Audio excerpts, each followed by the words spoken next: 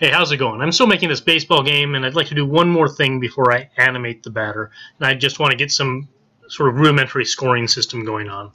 Uh, right now, if I run this program, you know, I've got this guy here for, as a pitcher. I've got the batter box. If I start it, um, the guy throws, and um, if I hit the spacebar at the right time, then it'll bounce back.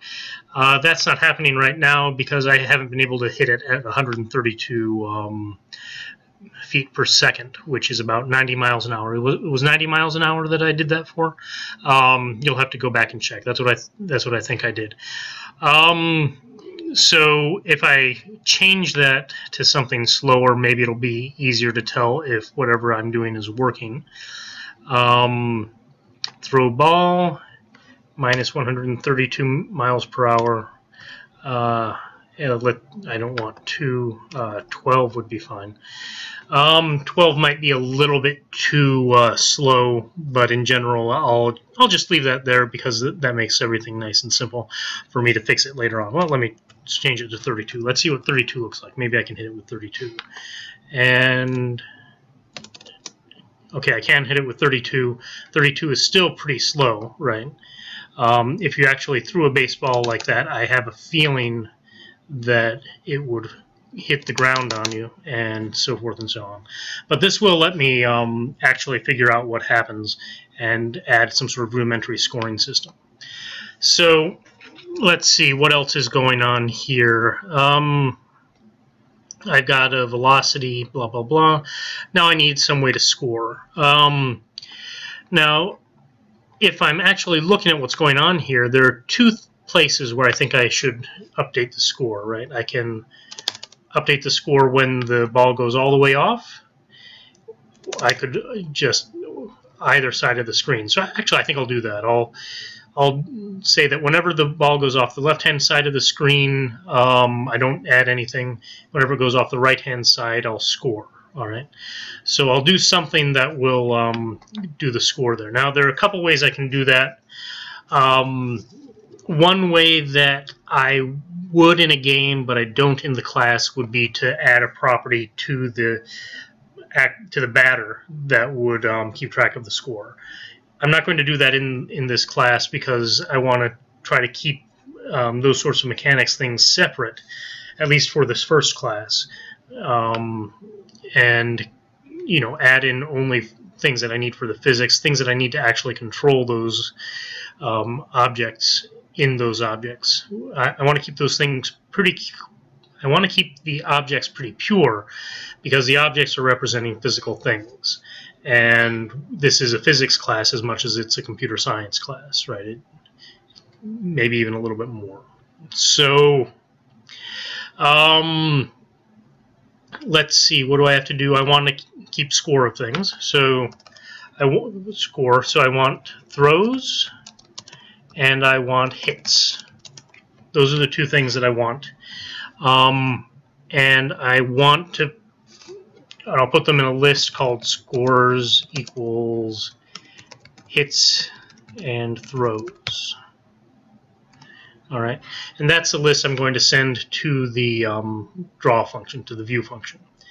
Um, let's see, so later on I have to go to the view function and I have to send it some um, scores, right? and then I have to come back up here to, to this guy here. The view function has all the, these objects, and it has the foreground, and it has the scores. We probably should really make objects for them.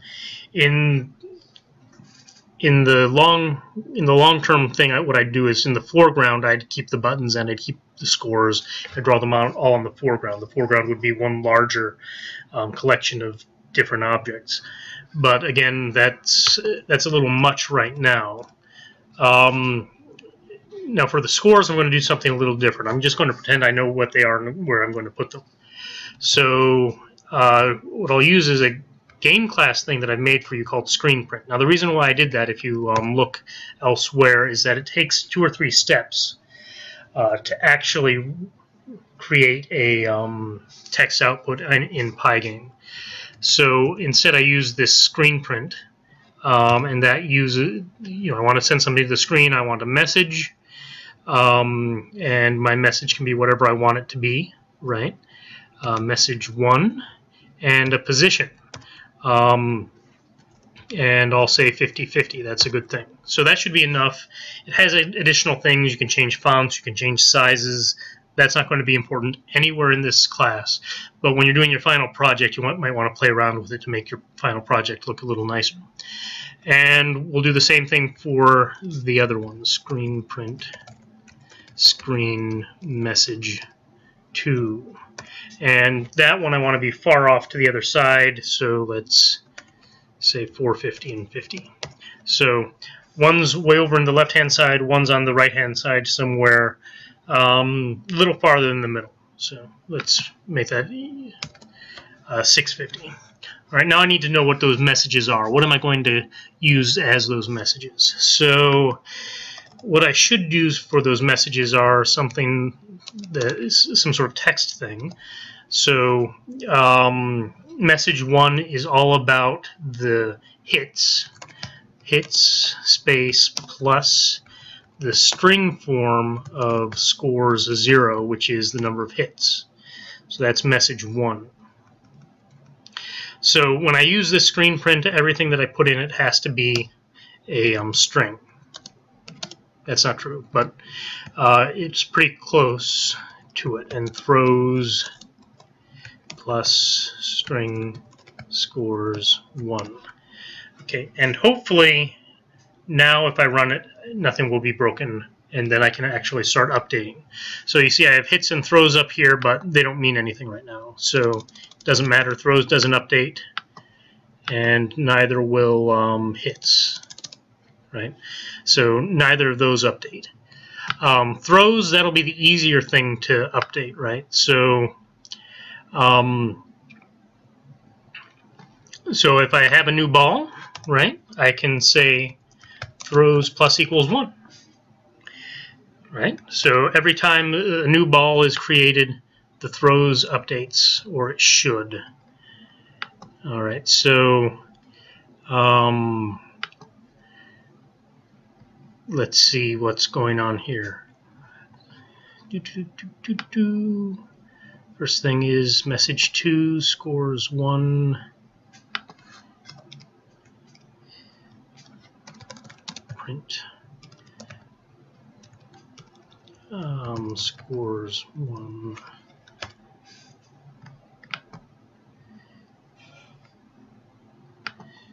So that's not updating, all right? Um,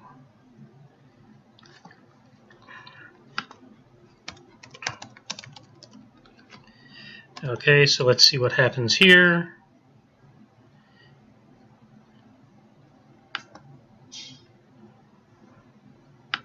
Did I... Hmm. So let me see. The um, throws is there.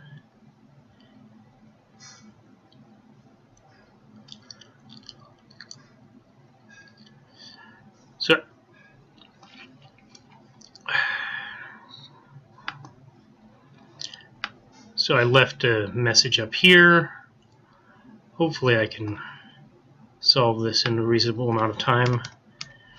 Okay. If you know the answer, just tell me. Uh, seriously. Um, okay, so the throws number is updating in main. Okay, so but it's not updating in the other list. Hmm. I guess I guess I'll have to do this a little differently. Um,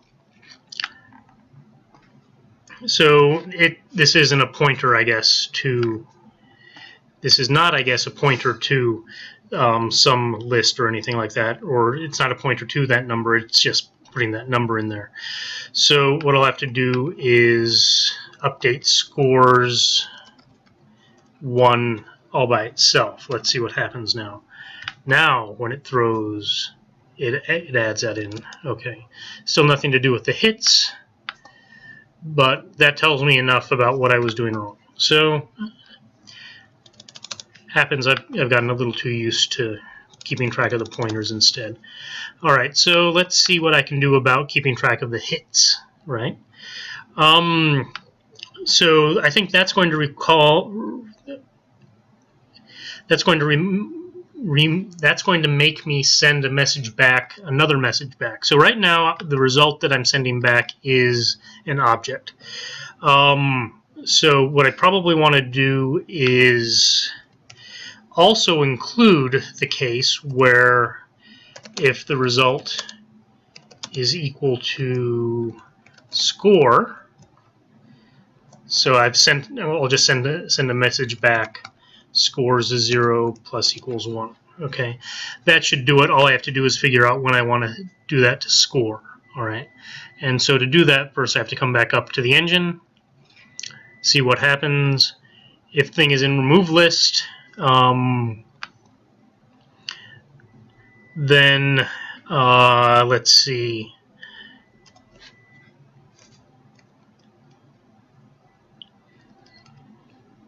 If not, field contains ball, remove list append ball, and then uh, out plus equals 1, or if um, ball dot get position, so we have a get position for the ball, 0 is greater than field greater than or equal to field size 0.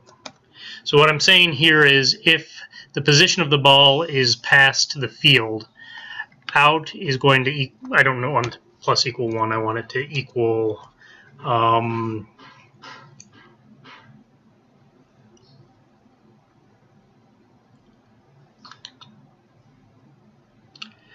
score. Okay, so right now, then out here it comes back after the pitcher update is either none or a new ball. And then this comes at, comes down here and checks to see if a ball, and then you know if it's a new ball, then it goes into the update and all that other stuff. Um, but it's not going to be outside, right? uh, outside of the field. So then this checks to see if it's outside the field. If it is outside of the field, if there's a, if there is any ball, but there's only going to be one ball, any ball is outside of the field on the right hand side, then you get a score.